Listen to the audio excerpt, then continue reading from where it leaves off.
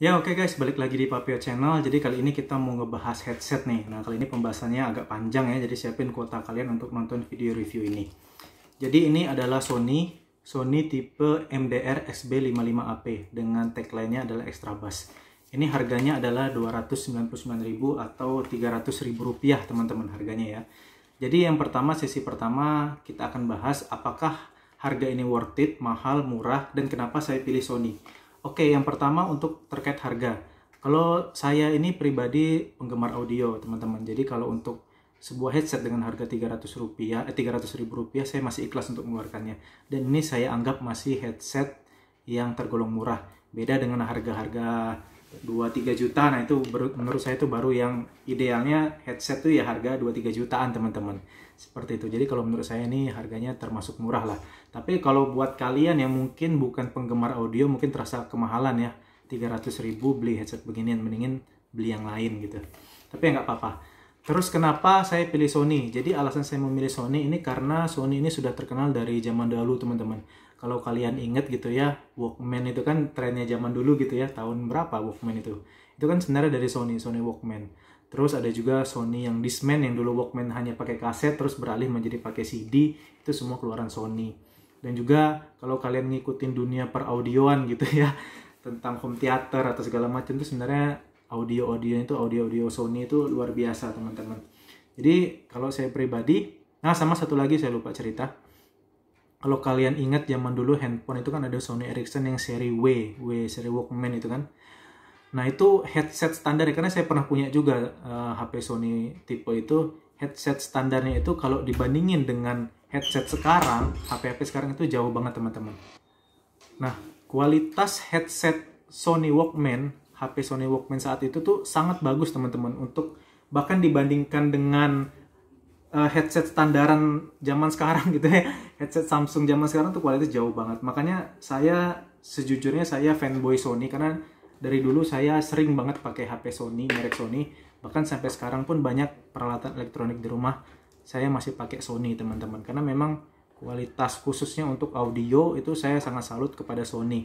Walaupun sekarang banyak juga brand-brand audio kayak Jabra, itu kan bagus EKG dari Samsung, itu kan baru-baru aja sebenarnya. Tapi kalau Sony sebenarnya pemain audio sudah sejak lama. Makanya saya memilih uh, brand Sony karena sudah teruji kualitasnya dari zaman dahulu kala. Itu sesi pertama terkait harga dan kenapa milihnya Sony. Lalu yang kedua kita akan bahas tentang kemasannya. Ini kemasannya premium teman-teman. Beda lah kalau kalian beli headset murahan di counter-counter HP gitu kan. Kualitasnya premium bagus. Di dalamnya ini ada tempat headsetnya seperti ini.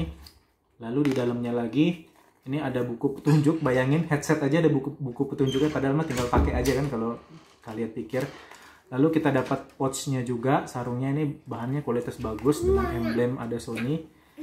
Sebenarnya ini ada kartu garansinya teman-teman, tapi saya lupa naruhnya di mana. Ini ada garansinya teman-teman ya. Sama satu lagi untuk earbudnya, ini dengan berbagai macam ukuran dari extra small, small, medium, extra large. Ada intinya ada empat dengan yang terpakai di headsetnya. Lalu kita masuk ke ulasan produknya seperti ini teman-teman produknya. Jadi ini warnanya abu-abu. Panjang kabel ini kurang lebih 1,2 meter jadi cukup. Saya sengaja memilih headset yang berkabel teman-teman bukan yang wireless ya. Kalau sekarang kan trennya wireless. Karena kalau menurut saya yang wireless tuh agak ribet. Pertama kita harus ada proses on off nya terus kalaupun ini baterai kita harus ngecas segala macam dan harus ada proses pairing. Jadi itu buat saya agak ribet teman-teman karena kan saya penggunaannya ini kan di, ba di banyak perangkat ya, di HP saya, di HP istri, di komputer kantor, di PC. Jadi lebih enak kita main colok aja dibanding harus pairing-pairing lagi pakai Bluetooth. Belum lagi kalau misalnya saya pakai di komputer kantor yang nggak ada Bluetoothnya, jadi nggak bisa pakai headset. Sedangkan yang teknologi konvensional kabel seperti ini saya jauh lebih suka dibanding dengan yang uh, wireless teman-teman, karena lebih simpel. Nah untuk uh, bagian ujungnya ini bentuknya dia L teman-teman. Jadi ketika kita pasangkan di HP dan kita masukkan ke kantong dia nggak nyucuk-nyucuk ke kaki. Karena dia langsung bentuknya L ini sangat bagus.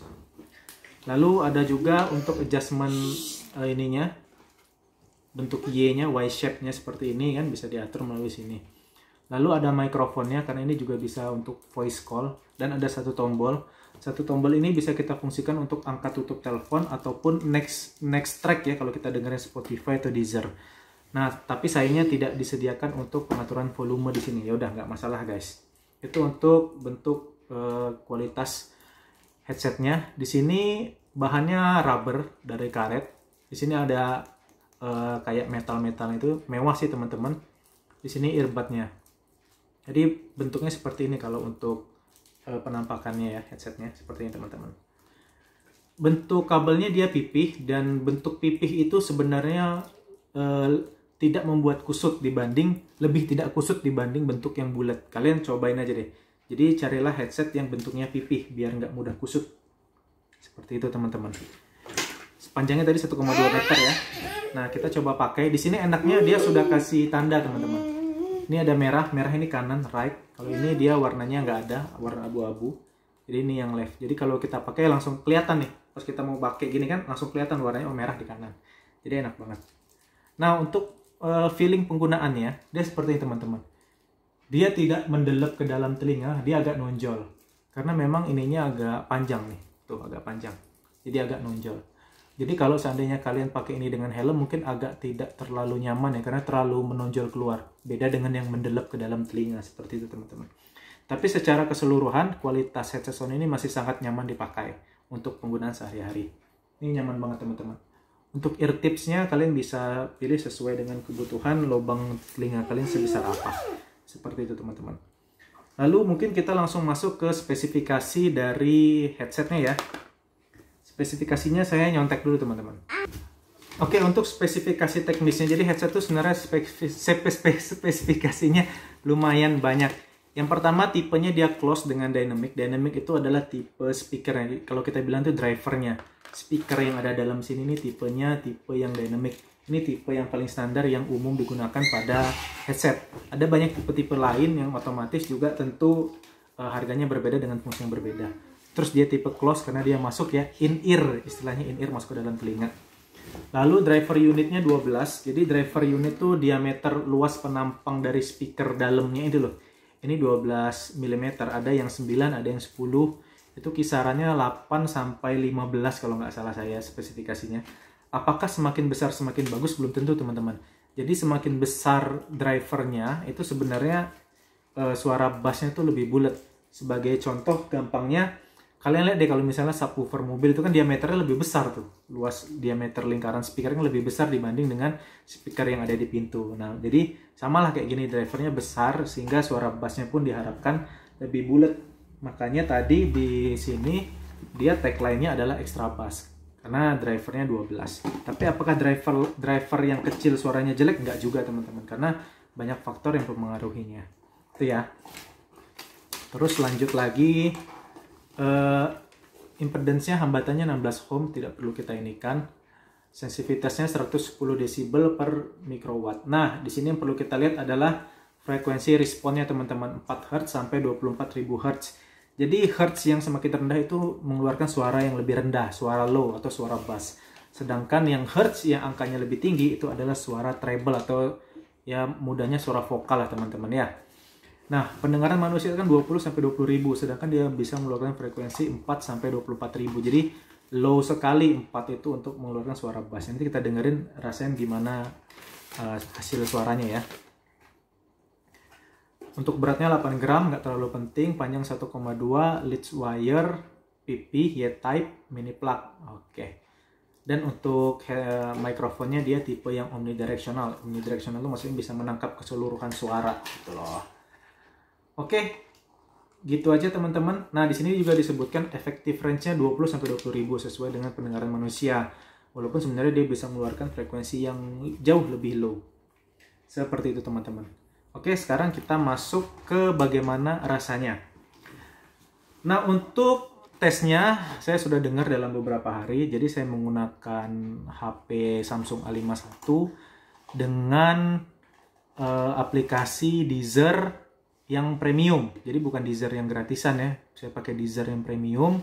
Saya pakai soundtrack yang 360 yang 3D sound seperti itu. Kalau kalian buka Deezer itu nanti ada pilihan yang uh, suara 360 yang seolah-olah seperti konser lah pokoknya kualitas yang paling tinggi streamingnya juga yang hi-fi atau high fidelity jadi saya pakai Deezer dengan kualitas audio yang maksimal dengan yang premium pokoknya yang topnya lah saya udah pakai yang Deezernya nah sekarang kita akan bahas bagaimana rasa suaranya. Begini teman-teman. Jadi uh, untuk saya yang penggemar audio biasa ketika saya mendengarkan lagu-lagu yang vokal oriented ya seperti misalnya kita mendengarkan lagu Ariana Grande, lagu Maria Carey yang vokalnya itu benar-benar apa ya enak lah crispy vokalnya. Suara-suara mereka kan suara-suara yang seperti itu. Uh, jujur untuk headset ini bagus suaranya tapi secara saya pribadi saya belum puas memakai headset ini untuk audio-audio atau lagu-lagu yang berorientasi kepada vokal lagu-lagu Maria Carey, lagu-lagu Ariana Grande, lagu-lagunya Adele, ah kayak kayak gitulah teman-teman, kurang lebih ya. Kurang bagus dia, kurang apa ya, suara vokalnya itu terlalu bulat, terlalu ngebas suaranya karena memang headset ini tujuannya untuk yang bass oriented atau lagu-lagu hip hop lah ngebeat. Namun beda halnya kalau misalnya kita dengarkan lagu-lagu yang vokal oriented tapi yang oleh penyanyi laki-laki. Contohnya seperti Michael Bublé terus apa lagi ya? Jason Mraz terus pokoknya suara-suara laki-laki lah. Atau lagu-lagunya Andrea Bocelli gitu yang penyanyi-penyanyi laki-laki ya intinya. Nah itu uh, enak banget enak banget pakai suara uh, headset ini karena suara laki-laki itu kan lebih ngebas jadi lebih lebih bulat dia suaranya ketika memakaikan uh, pakai headset ini. Beda kalau dengar dengan suara-suara yang perempuan tuh agak agak saya pribadi agak kurang puas.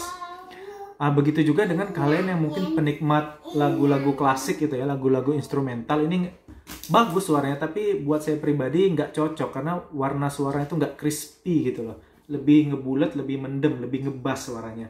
Kalau kita dengerin, pengen dengerin suara-suara biola, akustik gitar, ataupun piano itu kan kita pengen suaranya clarity-nya itu kan crispy, jernih, renyah suaranya. Nah ini nggak bisa memberikan karakter suara seperti itu teman-teman. Iya. Tapi jikalau kalian penggunanya lagu-lagu yang ngebeat, lagu-lagu sekarang kan ngebeat-ngebeat tuh, enak ngebasnya dentumannya enak. Nah ini cocok banget buat kalian. Ini bener-bener cocok banget buat kalian. Uh, saya jelaskan ininya ya. Jadi kalau untuk suara bassnya sendiri itu bener-bener bulat. Dia nggak nggak apa ya nggak bikin sakit telinga. Karena suaranya bener-bener bulat bener-bener tebel suaranya. Dan dapat banget frekuensi low-nya seperti itu teman-teman. Dan ya memang itu keunggulannya. Seperti yang saya sebutkan tadi kalau suara laki-laki ya penyanyi laki-laki kita dengerin pakai ini ini luar biasa enak banget bulat banget. Nah jadi sebenarnya gampang sih buat kalian yang awam terkait audio ya uh, audio yang enak misalnya contoh headset nih indikatornya gampang. Kalau kalian volumenya kalian kencengin lebih dari 70% itu tidak akan menyakitkan telinga kalian. Karena suaranya bulat teman-teman, nggak pecah nyember jeber atau suara treble yang melengking itu enggak. Itulah ciri khas headset yang bagus. Walaupun walaupun nggak saya rekomendasi kalian tes aja kalau volumenya kenceng itu nggak akan menyakitkan telinga kalian. Begitu juga misalnya kalian e, ngetes audio mobil gitu ya, itu gampang nilainya bagus atau enggak. Kalian setel aja suaranya kenceng kalau kalian di dalam mobil itu masih bisa denger, masih bisa ngobrol ya, ngobrol dengan sebelah kalian dengan suara yang normal, dengan volume yang normal itu masih kedengeran. Itu ciri khas audio bagus. Karena kalau audio bagus dia nggak akan memekakkan. Suaranya itu tidak akan memekakkan. Karena powernya tersampaikan. Nah, terkait headset ini tadi teman-teman, Uh, jadi saya rekomendasikan ini untuk kalian yang penggemar lagu-lagu yang ngebeat gitu ya. Lagu-lagu zaman sekarang ngebeat ngebeat itu cocok banget buat kalian. Suaranya saya nggak bilang jernih ya. Jernih clarity yang untuk clarity audio feel tuh beda gitu lah teman-teman. Kalau kalian yang penggemar audio-audio clarity vokal perempuan akustik gitar piano yang seperti itu ini nggak cocok. Bener-bener nggak cocok. Kalian cari yang mungkin drivernya 8 atau 10 mm jangan yang drivernya 12 mm seperti ini. Tapi kalau kalian penggemar lagu-lagu penyanyi laki-laki yang ngebahas kayak ciri khas-ciri khasnya suara Andrea Bocelli wah ini cocok banget buat kalian. Atau hard rock gitu ya ataupun lagu-lagu dance lagu-lagu metal lagu hip hop. Nah ini cocok banget buat kalian yang mengutamakan uh, dentuman bass bassnya bener-bener saya rasakan bener-bener dalam powernya terasa. Jadi beda ya. Power power speaker sama kenceng tuh beda. Kalian harus nyobain lah sekali-kali kalian nyobain headset-headset mahal yang di atas ini biar kalian punya standar gitu. Oh audio yang bagus tuh begini loh. Jadi ini untuk harga 300.000 saya sudah sangat baik, sangat puas dengan menggunakannya. Karena suaranya begitu bulat, dalam, low frekuensinya benar-benar dapat yang jelas tidak memekakkan telinga teman-teman. Jadi mungkin uh, gitu aja ya review headset kita kali ini. Saya pengen sih suatu saat nanti bisa punya headset harga 2-3 juta gitu ya. Rasanya pasti lebih mantap lagi dibanding ini. Jadi kalau audio ya gitu teman-teman, kalau kalian penggemar audio ketika kalian sudah mendengarkan audio yang enak, standar kalian udah akan tinggi gitu loh. Misalnya kalian beli yang standar ini 300 ribuan ya headset Sony. Ketika kalian dengerin headset yang mohon maaf kualitasnya jelek, headset bawaan HP sekarang, wah itu terasa terasa banget beda jauhnya. Tapi ini begitu juga misalnya kalian sudah upgrade audio mobil gitu kan. Upgrade audio mobil tiba-tiba harus naik mobil yang audionya standar tuh waduh pasti standar kalian udah beda. Sama lah kira-kira seperti itu teman-teman. Jadi buat kalian yang pengen mungkin pengen masuk ke dunia audio, pengen apa ya, mulai menikmati audio, ini starter pack atau pilihan pertama yang sangat saya rekomendasikan buat kalian. Harganya sangat murah menurut saya 300 ribu untuk mendapatkan kualitas audio yang luar biasa seperti ini. Dengan syarat kalian pun harus uh, kalau misalnya kalian download MP3, kalian taruh HP terus diputar itu akan akan sangat jauh berbeda teman-teman. Karena bitrate MP3 yang kita download dari internet itu kecil. Kecuali kalian kalau mau download format FLAC, nah itu beda lagi ceritanya. Cuman HP kalian pun harus bisa setel FLAC gitu ya. Saran saya yang paling gampang adalah kalian download Deezer atau download Spotify. Kalian pakai akun yang premium, bayar, yang bayar per bulan. Kayak Deezer tuh 79.000 per bulan, Spotify itu ada yang 49.000 per bulan. Kalian download settingnya dengan kualitas streaming yang paling tinggi yang high fidelity atau high resolution. Seperti itu teman-teman, sehingga kalian bisa mendapatkan pengalaman mendengarkan audio dengan kualitas suara yang paling top. Kayak gitu teman-teman. Cuman itu tadi, mendapatkan kualitas ada harga yang harus dibayar. Pertama, kuota kalian akan lebih cepat habis karena download datanya kan lebih besar, filenya lebih besar. Kedua, harus berlangganan paket-paket audio, eh paket-paket player seperti Spotify dan Deezer seperti itu teman-teman. Tapi kalau menurut saya semuanya sepadan, harga headsetnya sepadan, kalian juga harus maksimalkan dengan player yang sepadan juga. Kalian tidak bisa mengharapkan kualitas audio yang bagus kalau kalian cuma sekedar download dari internet tuh jauh teman-teman, beda jauh. Oke, okay, gitu aja teman-teman review singkat saya terkait headset Sony kita kali ini harganya Rp300.000. Semoga bisa memberikan informasi dan manfaat buat kalian semua. Terima kasih sudah menonton.